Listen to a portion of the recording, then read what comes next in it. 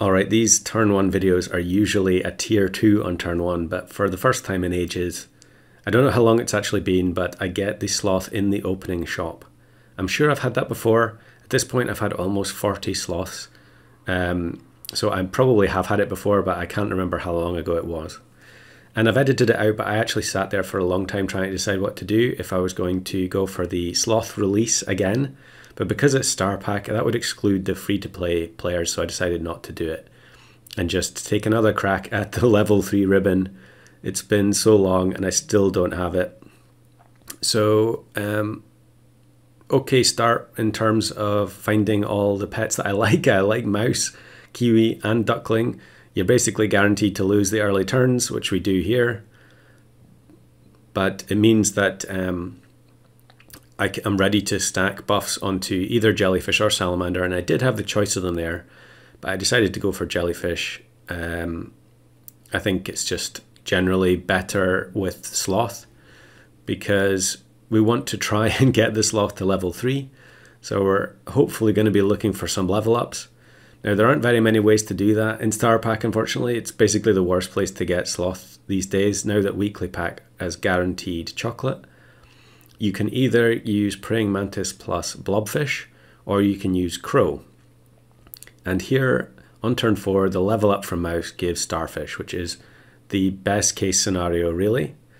And we'll take, take the starfish and sell the mouse immediately to start giving some uh, buffs to the sloth, I think, so that it actually has kind of a usable stat line. The, the best thing about getting starfish here is that because we're relying on finding crows, the starfish will be hopefully leveled up by then, and it will mean that each crow buy sell also is scaling the team and not just uh, generating the chocolate.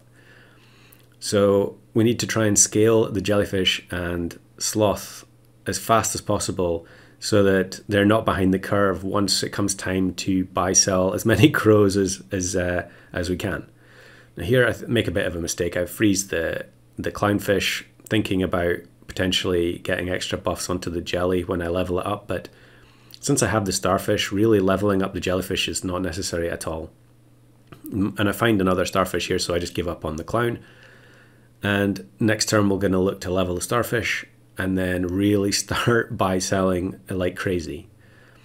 And this is going to be another draw, so it's going to be turn six with only one win. So that is a little bit concerning. However, we level the starfish into a platypus, which is the ideal scenario, and then both the beaver and duck buy sells um, hit the jelly and the sloth. So already you can see how quickly the starfish is able to scale some of these pets, and finding multiple mice in the shop um, is even better. So 1315, I think the sloth was uh, 1 1 like three turns ago. Um, now, Starpack is kind of notorious for having a lot of, um, you know, scaling one big unit. So it could be um, yak, it could be salamander, it could be jellyfish. So having the the uh, three squad with the starfish buy cells and concentrating the buffs, um, I think it's a perfectly fine strategy um, in this pack, especially when you roll into lots of um, platypi, uh, platypuses. Unfortunately, here both the duck and beaver um, leech some of the buffs away. But we do find another starfish, and it probably is worth going for the level 3 if I can get it. Now, this team does have a level 2 Okapi that is uh, scaled up quite drastically, but the donkey switches things around and actually, I think, uh, saves me there. Another starfish in the shop, and um, you could run two of them side by side, but I think I'd rather just combine them all together and increase the chances of buffing the sloth and the uh, jelly. Unfortunately, again, the buffs get wasted, but you have to buy Sell Platypus every time you see it, um, especially early on, because it's free. um, if you have two slots open, it's free. So I think here I just buy the cheese for the the starfish just so it's a little bit more effective attack wise, especially if it gets pulled to the front um, by Seahorse and you can see here it does get pulled forwards a bit, but the opposing team just doesn't have the stats. Um, Starfish initially, you know, you're sacrificing a few lives, but you're going to outscale stuff very quickly. And um, the problem now is that it's turn nine, and I don't think I've seen a single crow. So, I mean, Mantis Blobfish is pretty much off the table. Um, I, maybe, I guess, since we have two slots open, I guess it wasn't completely impossible, but um, I think uh, Crow is the, the best possibility. And I, I do keep rolling Platypus, but not finding any crows, which is um, a little bit unfortunate. We are only on four trophies, so there is definitely still time to do it. And here we actually um, comfortably win, even though we're running the turn 9 3 squad. And here is the first crow. So you can see, although it's going to cost, um, what is it, uh, 5 gold for the chocolate, we are also getting the plus 2 2 buff, um, which is uh, very nice. And there is the starfish level 3. I think I just take it. Um, we might as well. We know we need to buy, sell at least uh, four more crows to get the sloth leveled up.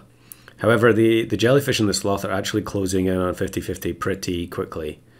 And um, another team that just uh, doesn't have the stats to stand up. And we get the Velociraptor in the shop, which, given that we have two strawberry units, seems like an auto buy.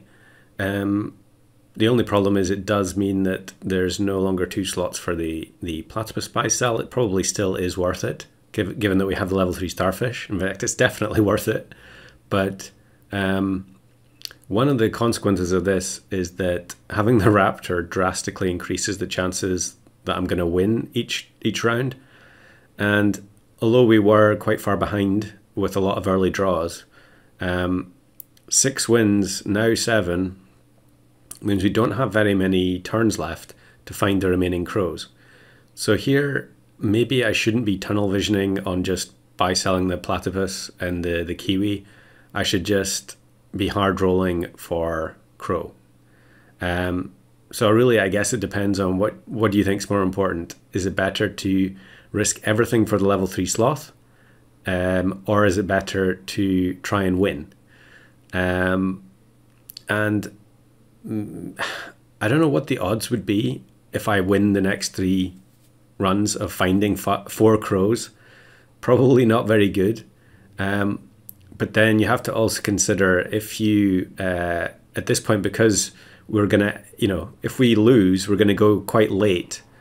Um, if I do then waste three or four turns looking for a crow uh, and get the sloth to level three, what are the chances that I could bring in um, other units at the last minute and still win the game. Um, so what happens here is we're now on eight trophies.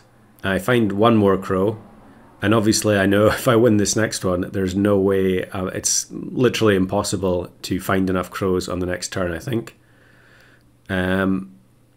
So yeah, because because it's so costly compared to a regular chocolate. You know, in theory, in the regular game, you can spend nine gold for three chocolates but that won't even buy you two crows um, in the in the star pack. So I actually edited out here a massive long wait where I just tried to decide what I was going to do, and instead I decided there just to buy sell the uh, to try and get the sloth to 50-50. I don't think I've ever had a 50-50 sloth, but even with the the apple, it's only going to be a 49.50, and we go into battle and the opposing team has no coconut, no pepper. So in the end, although their stats were good, it's an easy win for the sloth.